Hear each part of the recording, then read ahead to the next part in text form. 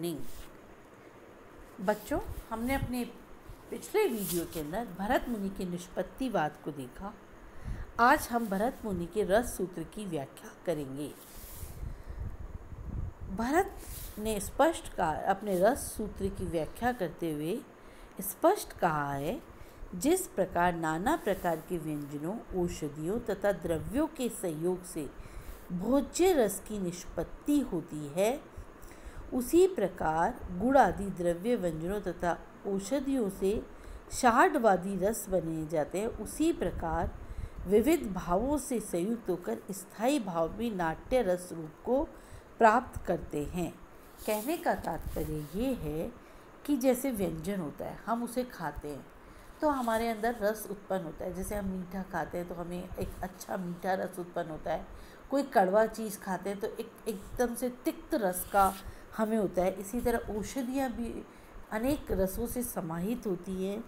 तो जिस प्रकार हम भोजन करते हैं उस प्रकार हमारे अंदर उस, उस रस की निष्पत्ति होती है। जैसे मैंने आपको बताया मीठा खाने से एक उत्तम रस मीठी अनुभूति होती है। उसी प्रकार कड़वा भोजन खाने से तिक्त अनुभूति होती है। उसी प्रकार जब हम कोई नाटक देखने जाते हैं या हम कोई सिनेमा देखते हैं तो सामने जैसा पात्र अभिनीत कर रहा होता है, जैसे वो रो रहा होता है तो हमारे अंदर भी उस दया भावना का संचार होता है, वही रस है। अर्थात जब आलंबन उद्दीपन उचित हो, उनके प्रभाव से आश्चर्य में आंगिक वाचिक सात्विक तथा आहार्य अनुभव प्रकट हो, तथा विभिन्न संचारी भाव उस आश्चर्य के स्थायी भाव को यथो यथोचित रूप से पुष्ट करते चले तो उस समय इन सबके संयोग से रस की निष्पत्ति या सिद्धि होती है। उदाहरणार्थ, एक कुशल नट और नटी दुष्यंत व शकुंतला के रूप में उपस्थित होते हैं। वे पहले तपोवन के रमणीय कुंजों में मिलते हैं। यह क्या है? एक विवाह है। दोनों एक दूसरे के सौंदर्य को देखकर विस्मित हो जाते हैं और त्रिषित उत्सुक नेत्रों से एक दूसरे को देखते हैं। अनिच्छा से जाती हुई शकुंतला चोरी चोरी पीछे मुड़कर दुष्यंत को देखती है। तो ये क्या है? अनुभाव है, जो भाव हमारे साथ चल रहे हैं। वियोग में कभी उत्कंठा, कभी निराशा से व्यक्त होकर वे एक दूसरे से मिलने को आतुर हो जाते हैं। यह हमारा व्यभिचारी भाव है। शकुंतला सौभाग्य से अपनी सखी की सहायता से दुष्यंत पर अपना प्रेम प्रकट करती है, इतने में ही दुष्यंत वहाँ आकर सहसा उपस्थित हो जाते हैं। इस प्रकार दोनों प्रेमियों का संयोग हो जाता है। तो जब यह सब विवाह, अनुभाव, व्यविचारी भाव आदि का संयोग, कविता, संगीत, रंग वैभव या किसी चित्र आदि की सहायता से जिन्हें भरत ने नाट्य धर्मी कहा है, रंगमंच पर प्रदर्शित किया जाता है। तो सामाजिक के हृदय में वासना रूप में स्थित रति भाव जागृत होकर उस चरम सीमा तक उद्विप्त हो जाता है। वह सामाजिक व्यक्ति अपनी चीज़ें भूलकर मतलब अपने अंदर जो या जो भी वो अपना सब कुछ भूलकर एवं देश काल का अंतर भूलकर सामने उपस्थित घटना में, जो सामने उसके नाटक चल रहा है, जब वह उसमें लीन हो जाता है और उनके जो भाव हैं वही अपने अंदर महसूस करता है तो वह चरम अवस्था को प्राप्त कर, यह भाव उसे एक आनंदमयी चेतना में विभोर कर देता है और यह आनंदमयी चेतना ही रस है। जैसे मान लीजिए हम किसी भक्ति संगीत में गए, वहाँ, हमने बहुत सुंदर भजन गा रहे हैं तो हम क्या होता है, उनमें लीन हो जाते हैं, हमारे अंदर भी वही भाव जागृत हो जाते हैं जो वहाँ उस वातावरण में उपस्थित है। हम भी उसमें लीन होकर आनंद की अनुभूति करते हैं। तो ये जो आनंद की अनुभूति है, यही रस है। भारत के संपूर्ण रस सिद्धांत के दो आधारभूत विषय हैं। नाट्य में रस की निष्पत्ति तथा नाट्य रस का सामाजिक द्वारा आस्वाद। सा ये सामाजिक कौन है? सामाजिक अपन है। मतलब जो व्यक्ति जो देख रहा है। ना रस तो नाटक में रस की निष्पत्ति, जो मतलब जो पात्र अभिनीत कर रहे हैं, वो इस प्रकार के भाव जागृत कर ले कि सामाजिक जो आस्वाद कर रहा है, जो उसको देख रहा है, उसके अंदर भी वही भाव उपस्थित हो। इन दोनों विषयों से संबंधित प्रश्न उठते हैं कि रस पदार्थ कौन सा है? अथवा रस को रस क्यों कहा जाता है?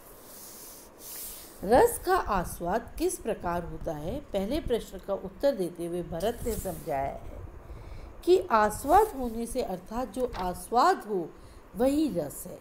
इसी जिस प्रकार नानाविध व्यंजनों से संस्कृत अन्न का उपयोग करते हैं तथा हर्ष का अनुभव करते हैं, उसी प्रकार प्रसन्न प्रेषक विविध भावों एवं अभिनयों द्वारा व्यंजित वांछित आंगिक तथा सात्विक अभिनयों से संयुक्त स्थायी भावों का आस्वादन करते हैं तथा हर्ष को प्राप्त होते हैं।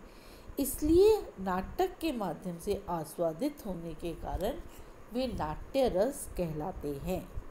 दूसरे प्रश्न के उत्तर में उन्होंने कहा कि जिस प्रकार नाना प्रकार के व्यंजनों, औषधियों और द्रव्यों के संयोग से रस की निष्पत्ति होती है, उस, उसी प्रकार गुण और द्रव्य व्यंजनों एवं औषधियों से षट रस उत्पन्न होते हैं। उसी प्रकार कवि हृदयगत स्थायी भाव, विभिन्न प्रकार के भावों जैसे विवादी के रूप को प्राप्त होने पर रसत्व को ही प्राप्त होते हैं। भरत ने कहा, आस्वाद तथा आस्वाद आस्वाद और तथा आस्वाद, इन दोनों पक्षों का संश्लिष्ट संज्ञा नाट्य रस है। ये जो उस वक्त नाट, नाट्य के ही प्रमुखता थी और उन्होंने नाट्य से ही लेकर रस का प्रतिपादन किया तो वही हम सब चित्र के अंदर उसको निरूपित कर देते हैं।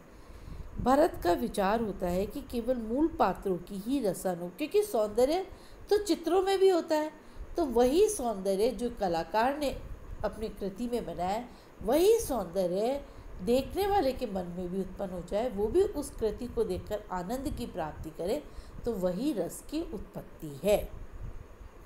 भरत ने रस के तीन अंग बताए हैं, ऐतिहासिक पात्र, अनुकृता या दूसरा अनुकृता तथा अभिनेता, तीसरा दर्शक यानी कोई भी स्टोरी जो जिसको वो कर रहे हैं, फिर उसको स्टोरी को अभिनीत करने वाला अभिनेता और तीसरा उसको देखने वाला।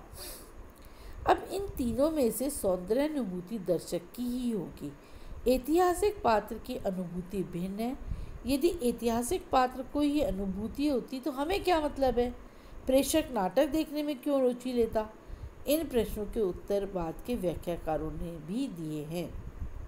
इस प्रकार भारत के रस विवेचन की मुख्य विशेषताएँ इस प्रकार है। प्रथम, रस आस्वाद नहीं, आस्वाद्य है। अर्थात अनुभूति नहीं अनुभूति का विषय है। इस प्रकार रस विषयगत न होकर विषयगत है। रस नाटक का अनिवार्य एवं सार तत्व है। द्वितीय, नाट्य रस का आधार भोज्य रस के समान भौतिक है। वह वस्तुतः एक पदार्थ है, विविध भावों से संयुक्त होकर एवं त्रिभित अभिनयों द्वारा व्यंजित स्थायी भावी रस में परिवर्तित हो जाते हैं। इस, जिस प्रकार व्यंजन आदि में संस्कृत अन ही भोज्य रस का रूप धारण कर लेते हैं, उसी प्रकार नाट्य सामग्री द्वारा प्रस्तुत स्थायी भाव ही नाट्य रस बन जाते हैं। यहाँ स्थायी भाव अन्न के समकक्ष है और नाट्य सामग्री, व्यंजन, औषधि आदि के। तीसरा, स्थायी भाव रस नहीं है, वरन रस का आधार है। जैसे अन्न रस नहीं है किंतु रस का आधार है, क्योंकि व्यंजनादि में से संस्कृत होकर भी वह रस बनता है।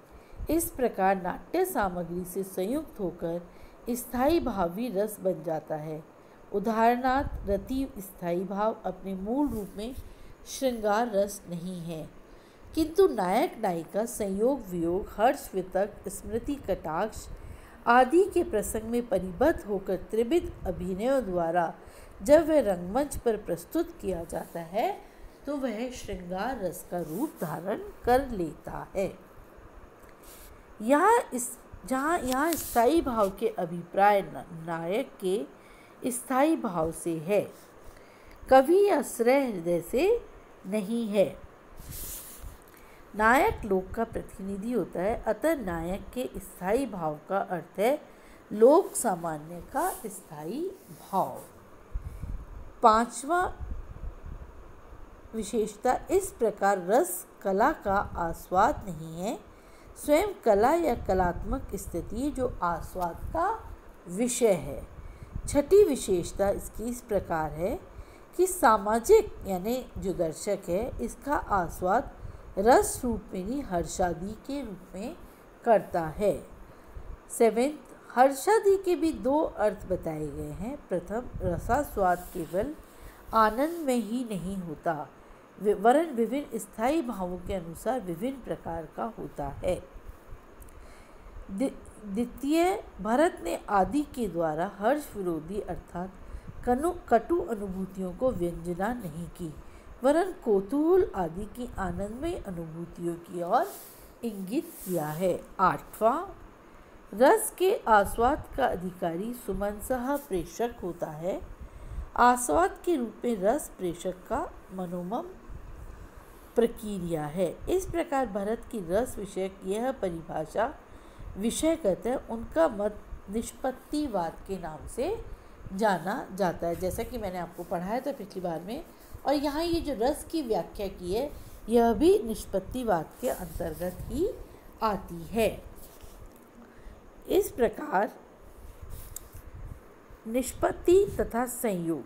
भारत के सूत्र में संयोग तथा निष्पत्ति शब्दों का अर्थ अस्पष्ट है। इन्हीं को लेकर परवर्ती आचार्यों में गहन विवाद भी दिखाई देता है। संयोग शब्द निष्पत्ति का अर्थ जो उन्होंने बनाया बताया है, बनना या होना, स्वरूप को प्राप्त होना, निष्पत्ति का शाब्दिक अर्थ है निस प्लस पद प्लस गतो प्लस कितन, अर्थात विशेष रूप से स्थिति प्राप्त करने के भाव को उन्होंने निष्पत्ति कहा है।